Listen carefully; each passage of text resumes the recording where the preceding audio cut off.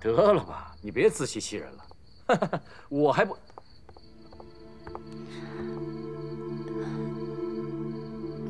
你们在聊玫瑰吗？嗯，玫瑰的红疹怎么样了？呃，会不会影响到她参加影展？对不起，都是我的错。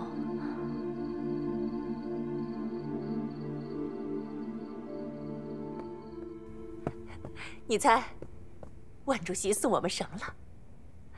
燕窝，很值钱的。哎呀，影展的事你就放心吧，我跟万主席已经拉好关系了。我说田太太，你的演技真的是很好，拿吉隆坡影后的人应该是你。我就是看见你对顾老板说谎，我才记得原来我小的时候吃过榴莲，吃完之后全身。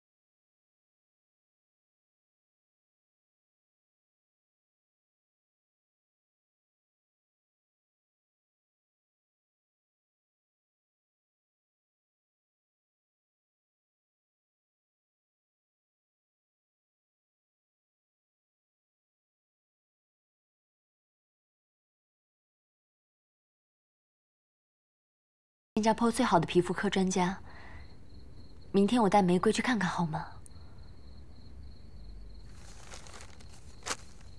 玫瑰她没事，你也不用自责了。不过我跟你说啊，以后可不要轻易请别人吃榴莲。那么稀有的水果，你可以跟我分享吗？过两天。陪我去趟吉隆坡吧。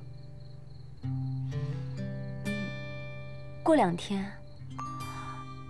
呃，过两天是孤儿院的开放日，会有一些有兴趣收养小孩的夫妻来探访。对孤儿院来说，是个很重要的日子。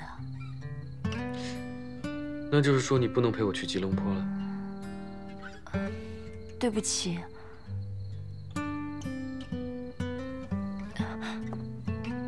严美，你别生气啊。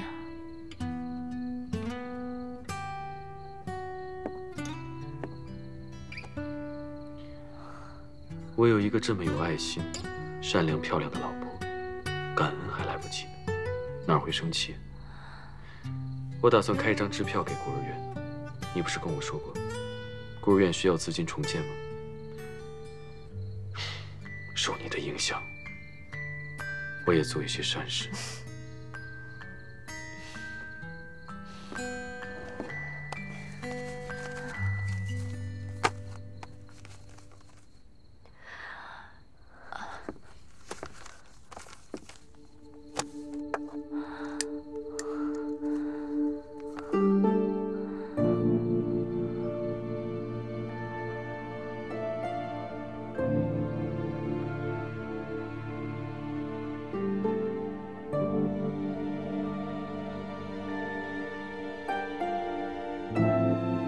看文文画画的还真不错，很有艺术天赋，而且我看见文文画的都是我们三个人，而且嘴巴都画的很大。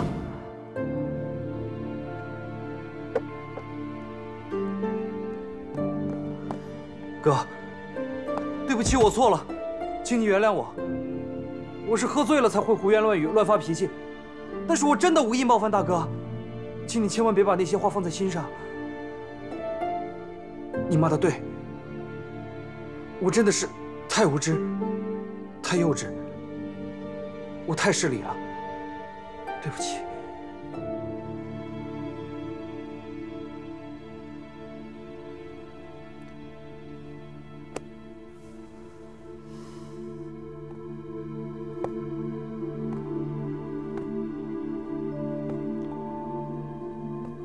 起来吧。